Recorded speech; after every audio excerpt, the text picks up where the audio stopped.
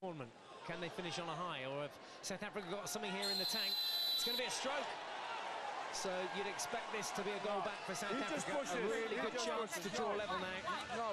You want to refer or not? Okay? Remember, Malaysia do have that video referral if they want to use it. No.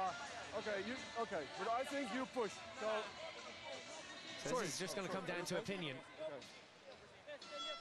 Give him for the no, no, push. no, no, just one. I've had him already. I know what his question is. Andy, Hi, Roderick. they claim they he didn't push it uh, at the moment that South Africa was entering the D. I thought he pushed him and therefore a penalty stroke. But can you please check? Yes, of course, we'll have a look. Well, that's pretty clear in terms of the question.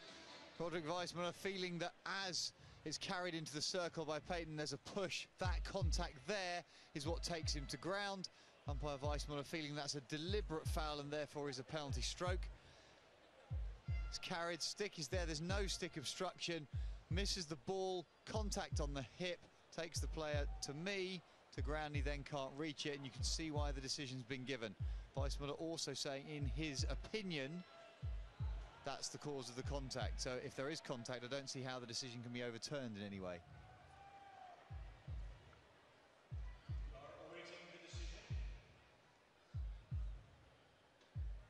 So the video umpire there, Andy Mair, able to see several different angles and even slow it down frame by frame.